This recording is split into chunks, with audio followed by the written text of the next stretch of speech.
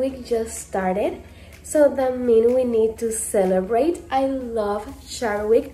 Both of my parents work for over 30 years in marine biology, so I have a really big special place for the ocean in my heart, and I love most of the sea creatures, and I love sharks, of course.